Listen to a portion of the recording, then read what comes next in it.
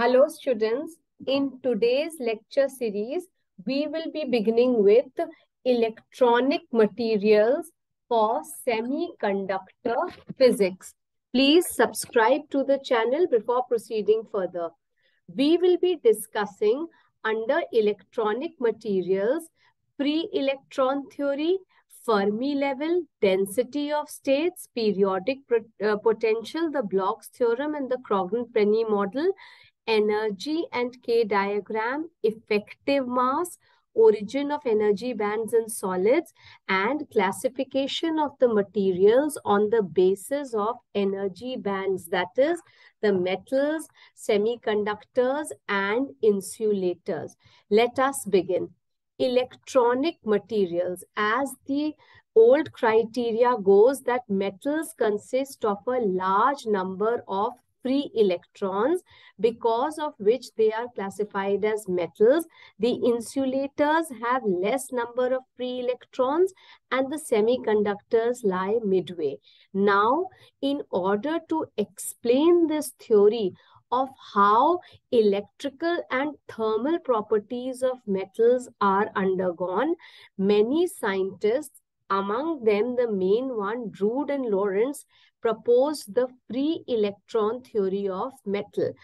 This theory is applicable for both metals and non-metals.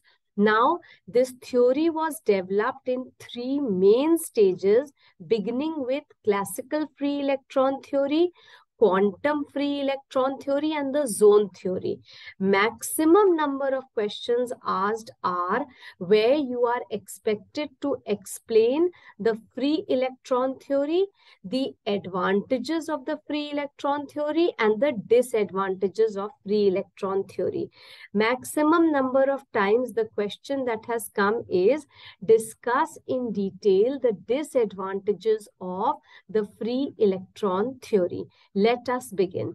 Classical, the first theory that was developed was uh, the classical free electron theory, which stated that metals contain free electrons, which are responsible for the electrical conductivity and metals are obeying the laws of classical mechanics. Then came the quantum free electron theory, which said that the free electrons are moving with a constant potential.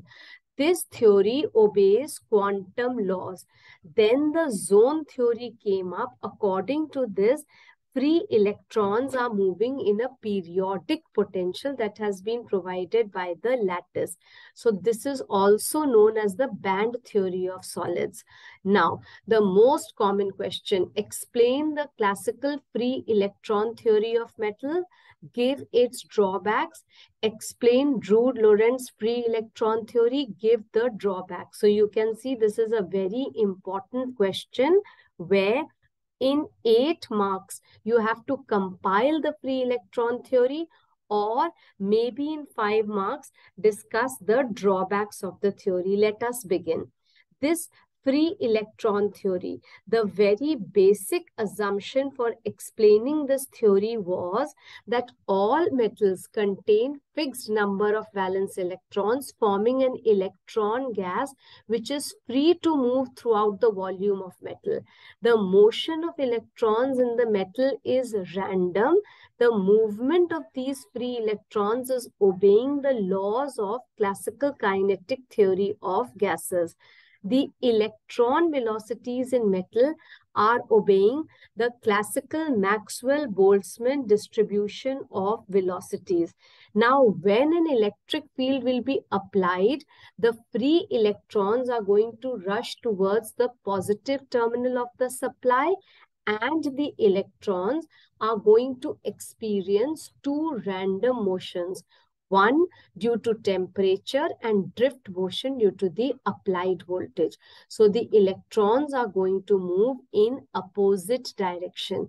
The average distance that has been covered by the electron between two collisions will be known as mean free path and the time it takes to cover this distance is known as relaxation time.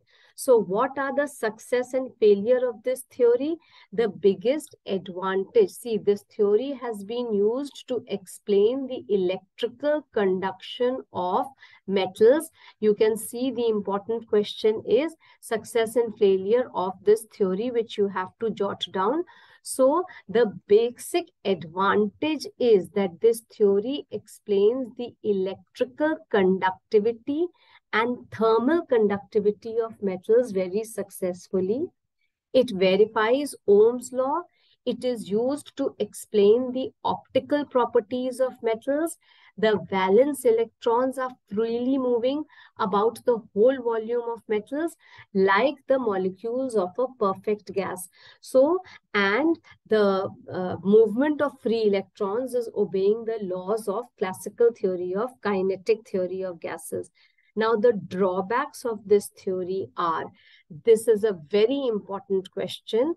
It is failing to explain the electric specific heat, the specific heat capacity of metals. It fails to explain the superconducting properties of metals. It fails to explain photoelectric effect, Compton effect, black body radiation, etc fails to correct the mathematical expression for thermal conductivity. And lastly, and most important for your topic, classification of solids on the basis of band theory, that is metals, semiconductors and insulators cannot be done by this theory. So next came up the quantum free theory of electrons for explaining quantum free electron theory of metals. Now, this was explained by Sommerfeld, who modified the free electron model on the basis of quantum statistics. The assumptions for this are that metal is containing a large number of conduction electrons. Center is the nucleus. Here in the outer orbits are the electrons. So metals are having large number. At absolute zero, all energy levels up to Fermi level will be filled and all the higher level ones will be empty. That means up to one specific state they are filled. After that, they are empty. And the electron within the metal is being treated as totally free.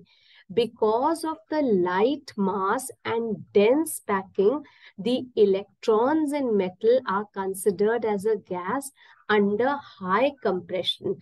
And hence, to a degenerate gas. Also, the electron gas is charged. The free electron gas in a metal may be regarded as plasma. The electrons assume Pauli's exclusion principle and hence they obey the Fermi-Dirac statistics rather than the classical Boltzmann statistics. Thank you.